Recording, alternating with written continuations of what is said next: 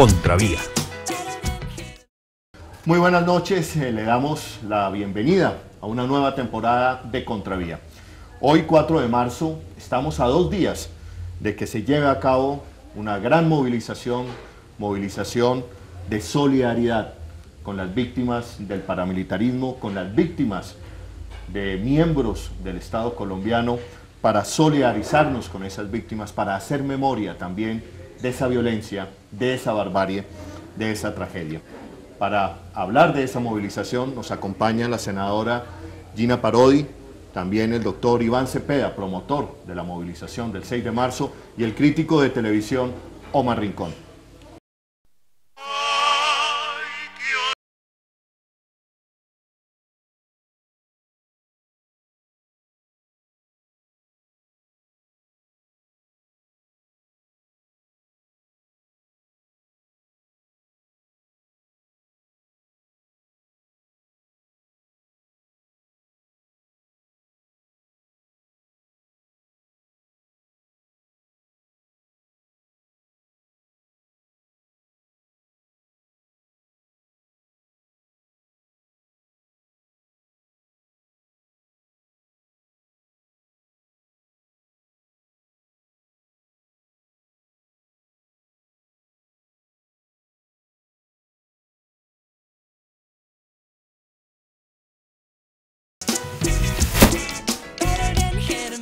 Contravía.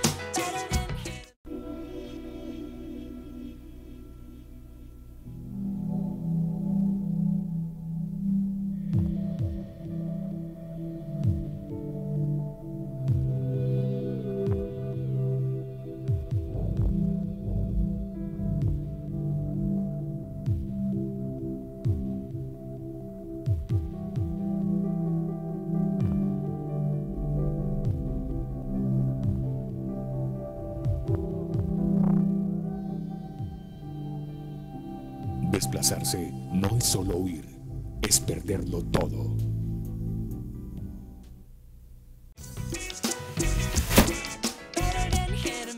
Contravía. Sin más preámbulos, yo quiero, Iván, que tú nos digas por qué hay que marchar el 6 de marzo.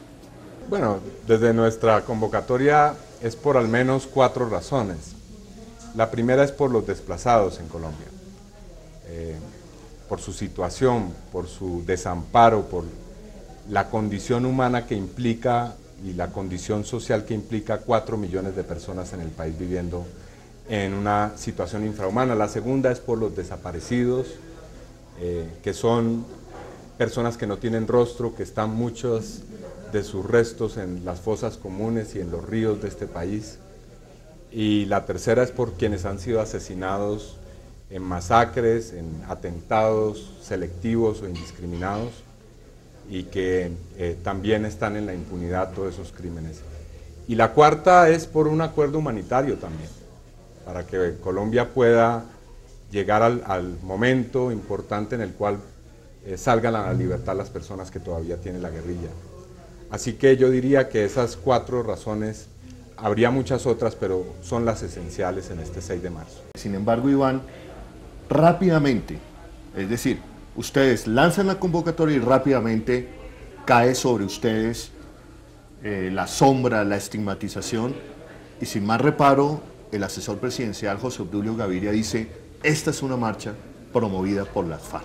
Bueno, yo creo que es eh, un síntoma de en, en qué momento está el país. Consideramos nosotros que estamos ejerciendo un derecho legítimo, somos víctimas de este conflicto, somos organizaciones legalmente reconocidas, nos hemos distanciado muy claramente de las prácticas criminales de todos los actores de la violencia en Colombia y a pesar de eso el gobierno insiste en utilizar argumentos que a nuestro modo de ver tergiversan, desdicen de lo que queremos hacer y pues nosotros hemos llamado al gobierno a que recapacite sobre su posición, contrasta mucho ese apoyo institucional que se dio al 4 de febrero, todo ese despliegue que hubo y ahora una actitud como esta frente a una movilización que consideramos es justa y es ética en este momento. Doctora Parodi, rápidamente, te- le voy a hacer dos preguntas en una. ¿Por qué hay que marchar el 6 de marzo desde su punto de vista? Y es sano para la construcción del país que queremos esa estigmatización de parte del gobierno nacional?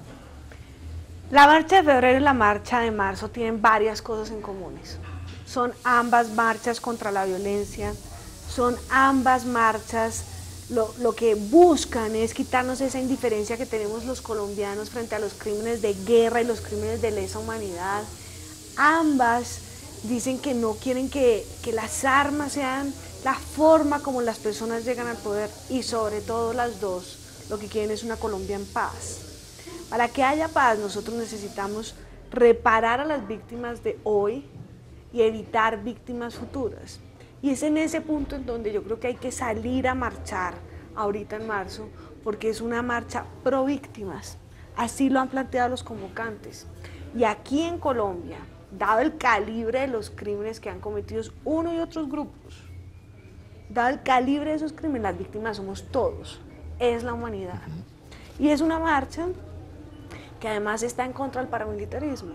Si la marcha pasada fue contra las FARC, que es uno de los actores que han violado los derechos humanos de manera sistemática en Colombia, pues los otros actores son los paramilitares y contra ellos hay que marchar, contra ellos y, lo, y todo lo que han infiltrado en nuestro Estado de Derecho, como los parapolíticos. Yo no quisiera seguir en el Congreso de la República con curules ocupadas por personas que tienen vínculos con la ilegalidad y que lo niegan sistemáticamente y que nos toca esperar a que sea la justicia la que opere para encontrar la verdad. Colombia no puede seguir así porque el Congreso se convierte en un Congreso que no legisla para el interés general, sino para intereses particulares y sobre todo ilegales. Es decir, con, congresistas con, como yo he dicho, y que algunas veces hay que decirlo así gráficamente, así suena muy duro, congresistas con las manos llenas de sangre. Así es, así es, así es, y es parte de la verdad que tiene que salir en el país. La estigmatización del gobierno. El señor José Obdulio Gaviria sigue insistiendo, ¿Cuánto daño nos ha hecho este país? Yo no sé si ustedes compartan esto que voy a decir.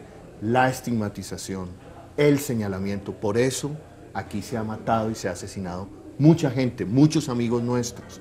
Sin embargo, se sigue empeñado en esa práctica sistemática por parte del gobierno nacional de estigmatizar todo lo que piense diferente. Pero de parte y parte tiene que bajar la estigmatización, es decir, la tolerancia en Colombia tiene que venir de las dos partes.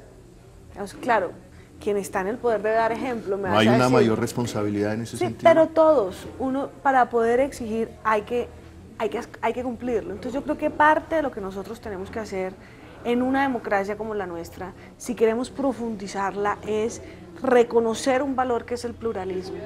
Y mientras todos estemos en la vía legal, pues la pluralidad es lo que vale y lo que enriquece a la democracia. Pues para que una democracia sea viable tiene que haber consensos, pero sobre todo tiene que haber disenso. Y no me siento jamás identificada por José Obdulio. Mira, José Obdulio, por ejemplo, en estos días o hace unos meses quería que considerar que los paramilitares cometían delitos políticos. Yo creo que ni guerrilla ni paramilitarismo lo cometen. Entonces José Obdulio para mí no es un indicador. Lo que sí creo es que es muy grave que lo diga, que estigmatice. entonces no, tratemos de no generalizar y eso nos ayuda a estar más gente aquí. Okay.